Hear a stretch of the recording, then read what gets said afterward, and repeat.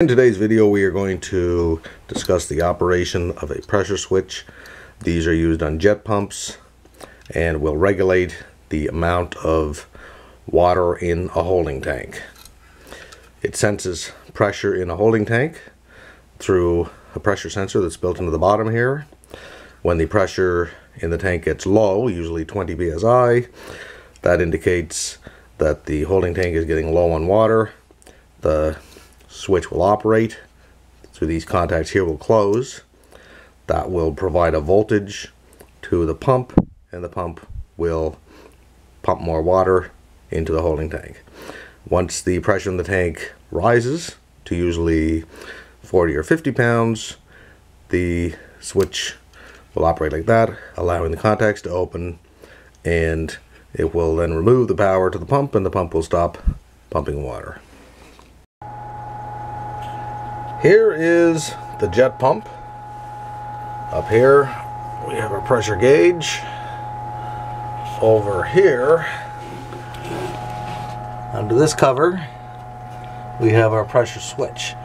This is just a matter of turning this little nut counterclockwise, lefty-loosey, to pick this up and remove this. um, be very careful if you're working around this. You should have this power to this pump disconnected, as I do here. Here's our contacts here. Definitely would not touch these if I had power connected to this.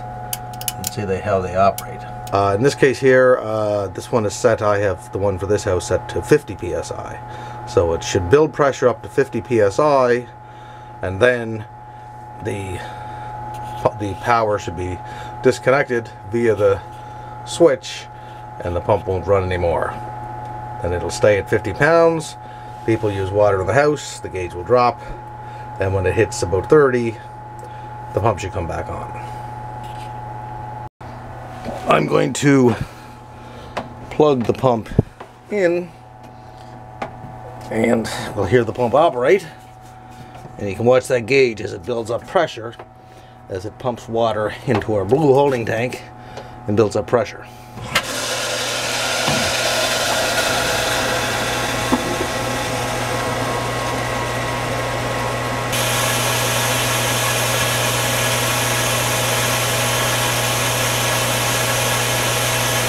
So basically we're at let's hit the 50 psi and again show you one more time. Now that the pressure is stabilized there's our contact. Open on the pressure switch. So according to the manual for this jet pump this big nut right here is called the range nut and if we want to it says to increase the pressure that the pump will operate so you'll have more pressure on for your showers and everything to turn this nut four complete turns clockwise.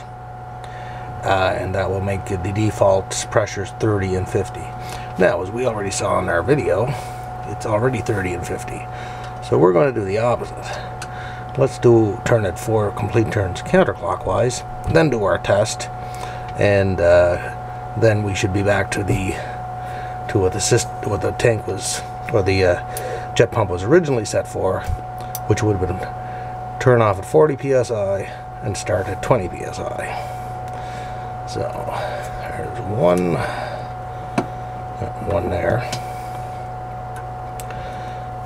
Two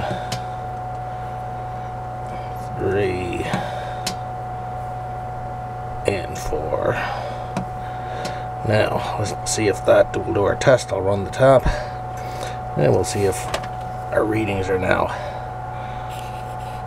20 psi when the pump turns on and 40 psi when the pump turns off. So, we got some water running here. Uh, we notice that the pressure gauge reads 40 psi and the pump turns off.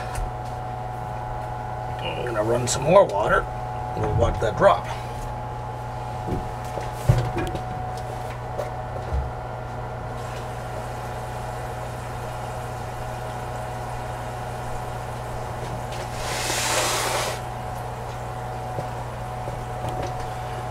That should drop to 20 psi. And when the pressure gets down to 20, the jet pump should turn on and pump water into our blue pressure tank. And 20 is down there by my finger.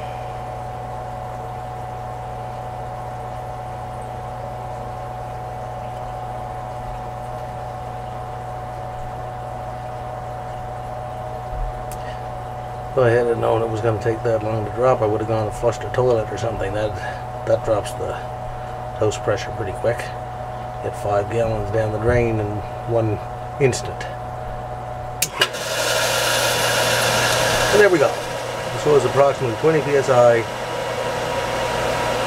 Our uh, switch operated, powered the pump, and it's now filling our holding tank with water. And shut off at 40.